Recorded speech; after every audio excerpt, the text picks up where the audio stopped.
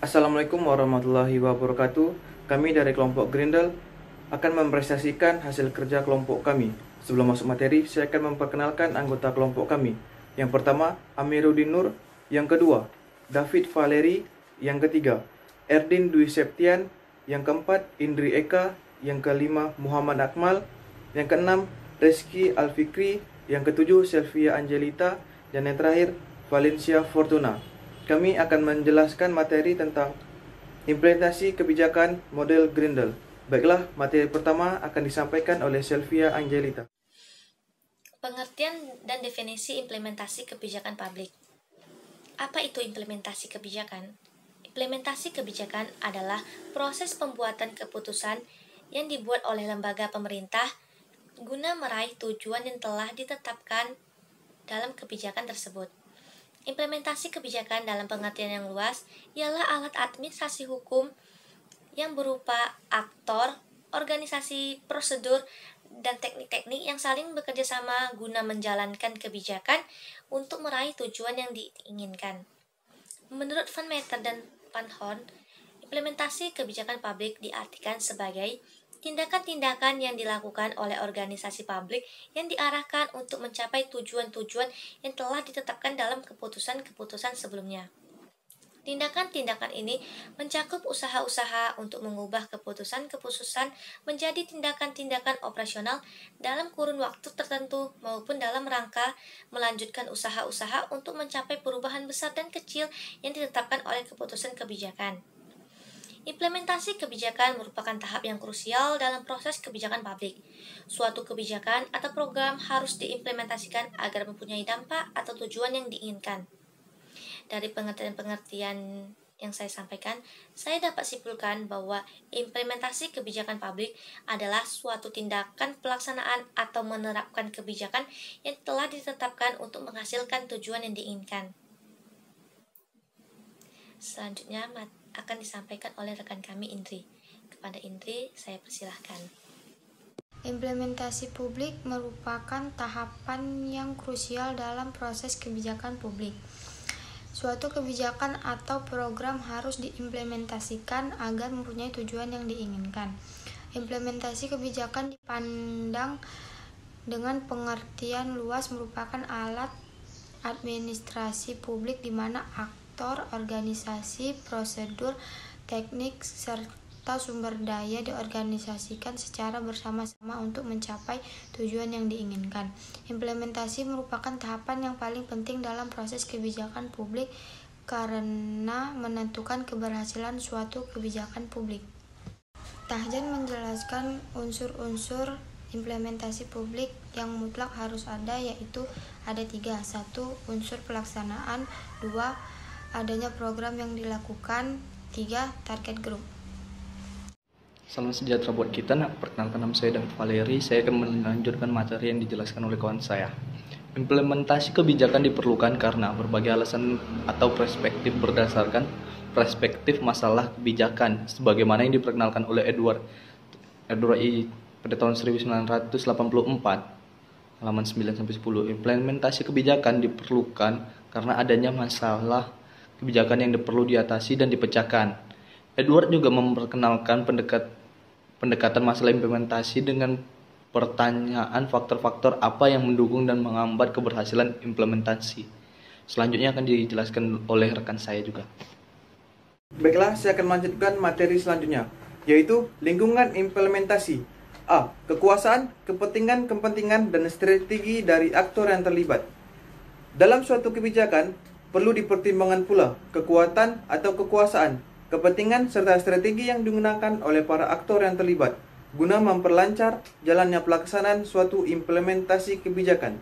Bila hal ini tidak diperhitungkan dengan matang, sangat besar kemungkinan program yang hendak diimplementasikan akan jauh dari hasil yang diharapkan. Yang ke B, karakteristik lembaga dan rezim yang berkuasa. Lingkungan di mana suatu kebijakan tersebut dilaksanakannya juga berpengaruh terhadap keberhasilannya. Maka, pada bagian ini ingin dijelaskan karakteristik dari suatu lembaga yang akan turut mempengaruhi suatu kebijakan. Dan yang terakhir C, tingkat kepatuhan dan adanya respon dari pelaksana. Hal ini hal lain yang dirasakan penting dalam proses pelaksanaan suatu kebijakan adalah kepatuhan dan respon dari para pelaksanaan. Maka yang hendak dijelaskan pada poin ini adalah sejauh mana kepatuhan dan respon dari pelaksanaan dalam menghadapi suatu kebijakan.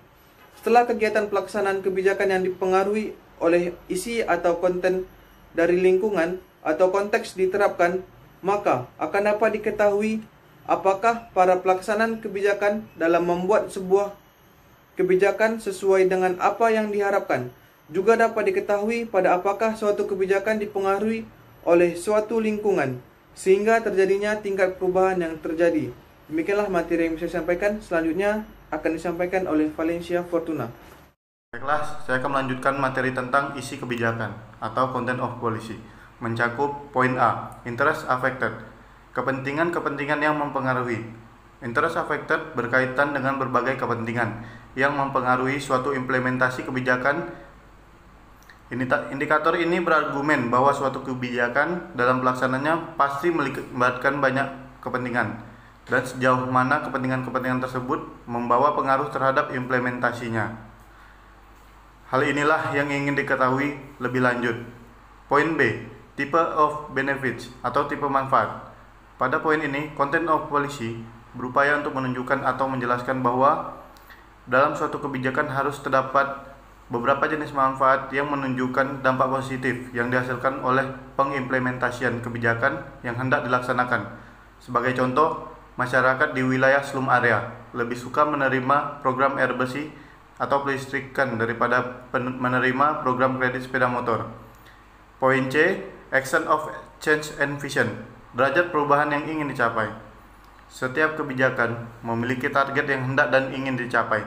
Content of policy yang ingin dijelaskan pada poin ini adalah bahwa sejauh mana perubahan yang diinginkan dari sebuah kebijakan haruslah memiliki skala yang jelas. Suatu program yang bertujuan mengubah sikap dan perilaku kelompok sasaran relatif lebih sulit diimplementasikan daripada program yang sekedar memberikan bantuan kredit atau bantuan beras kepada masyarakat miskin. Poin D, side of decision making atau letak pengambilan keputusan. Pengambilan keputusan dalam suatu kebijakan memegang peranan penting dalam pelaksanaan suatu kebijakan. Maka pada bagian ini harus dijelaskan di mana letak pengambilan keputusan dari suatu kebijakan yang akan diimplementasikan. Apakah letak sebuah program tersebut sudah tepat?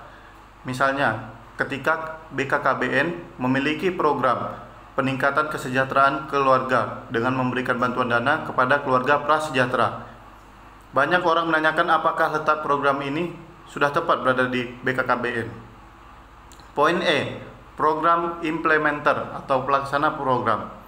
Dalam menjalankan suatu kebijakan atau program harus didukung dengan adanya pelaksana kebijakan yang kompeten dan kapabel demi keberhasilan suatu kebijakan. Dan ini sudah harus terpapar atau terdata dengan baik.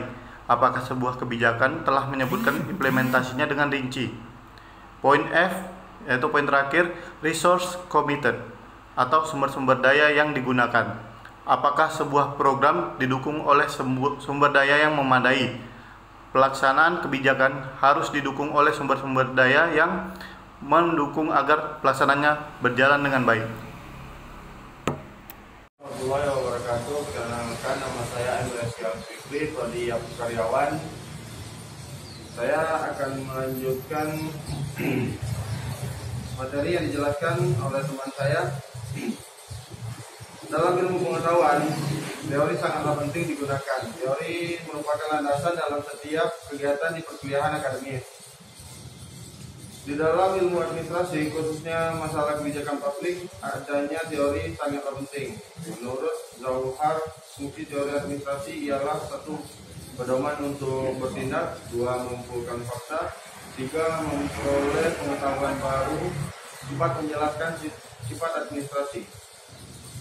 Windows 1980 60 memperkenalkan model implementasi sebagai proses politik dan administrasi. Model tersebut menggambarkan proses pengambilan keputusan yang dilakukan oleh beragam aktor. Di mana prioritas akhirnya ditentukan oleh baik materi program yang telah dicapai maupun melalui interaksi para pembuat keputusan. Dalam konteks politik, politik administratif, proses politik dapat terlihat melalui proses pengambilan keputusan yang melibatkan berbagai aktor kebijakan, Sedangkan proses administrasi terlihat melalui proses umum mengenai aksi administratif yang dapat diteliti pada tingkat program tertentu. Pendekatan Mary S. Grindel dikenal dengan apa namanya? Implementation as a political and administrative process. Menurut Grindel ada dua variabel yang mempengaruhi implementasi kebijakan publik, yaitu satu, keberhasilan implementasi suatu kebijakan publik dapat diukur dari proses pencapaian hasil akhir atau outcome, outcome yaitu tercapai atau tidaknya tujuan yang ingin diraih. Hal ini dikemukakan oleh Grinder di mana pengukuran keberhasilan implementasi kebijakan tersebut dapat dilihat dari dua hal yakni A dilihat dari prosesnya dengan mempertanyakan apakah pelaksanaan kebijakan sesuai dengan yang ditentukan atau didesain dengan merujuk pada aksi kebijakannya. B. Apakah tujuan kebijakan tercapai? Dimensi di, ini diukur dengan melihat dua faktor yaitu dampak atau efeknya pada rujuk pada aksi kebijakannya. B. Apakah tujuan kebijakan tercapai? Dimensi di, ini diukur dengan melihat dua faktor yaitu dampak atau efeknya pada masyarakat secara individu dan kelompok. Tingkat perubahan yang terjadi serta penerimaan kelompok sasaran, sasaran dan perubahan yang terjadi. Dua, keberhasilan suatu implementasi kebijakan publik juga menurut Grindel amat ditentukan oleh tingkat implementasi kebijakan itu sendiri. Sekian dari saya. Assalamualaikum warahmatullahi wabarakatuh. Contoh implementasi kebijakan. Kebijakan penyelenggaraan pendidikan gratis. Dalam proses implementasi kebijakan penyelenggaraan pendidikan gratis sudah diusahakan untuk dapat berjalan dengan baik, tapi masih terselip kepentingan dari beberapa oknum pelaksana kebijakan. Kondisi seharusnya membantu masyarakat malah membuat masyarakat kesulitan untuk memenuhi kebutuhan mereka. Pencapaian kebijakan hanya cenderung tercapai di sekolah yang ada di wilayah ibu kota dan ibu kota kecamatan karena tingkat pengawasan yang tinggi membuat sekolah berusaha melaksanakan sesuai SOP. Sedangkan untuk sekolah yang berada di pedesaan masih sangat rendah ketercapaian hasil kebijakan yang dilakukan. Salah satu penyebabnya adalah rendahnya faktor kontrol yang dilakukan oleh pihak aktor politik dan masyarakat. Ketidakmaksimalan disebabkan oleh komunikasi kebijakan yang tidak berjalan sehingga masyarakat tidak bisa menjadi kontrol kebijakan penyelenggaraan pendidikan gratis. Karena fakta yang ada, implementasi kebijakan cenderung terfokus kepada pembangunan fisik sekolah untuk mengalokasikan kebijakan penyelenggaraan pendidikan gratis. Selanjutnya akan dilanjutkan oleh Bang Amir untuk contoh berikutnya. Kebijakan publik yang dapat dinilai implementasi kebijakannya dengan pendekatan implementasi kebijakan publik. Menurut Grindel, suatu implementasi kebijakan dapat dikatakan berhasil tergantung dari isi kebijakan itu sendiri.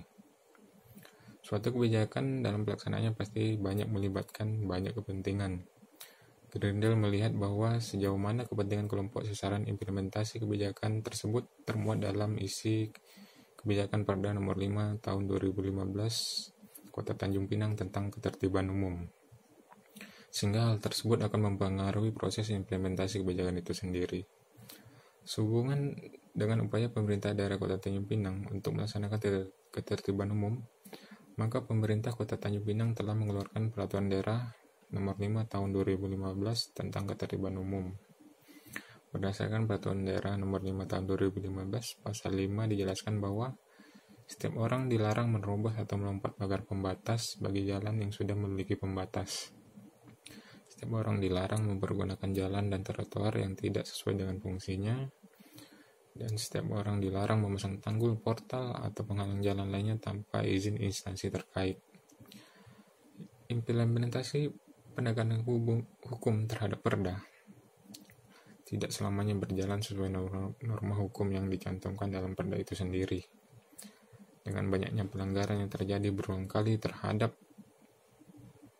perda keterlibatan umum oleh masyarakat Kota Tanjung Pinang, maka untuk menjamin terwujudnya ketentraman dan ketertiban umum tersebut, pemerintah Kota Tanjung Pinang telah membentuk peraturan daerah nomor 7 tahun 2018 tentang perubahan atas peraturan daerah nomor 5 tahun 2015 tentang ketertiban umum.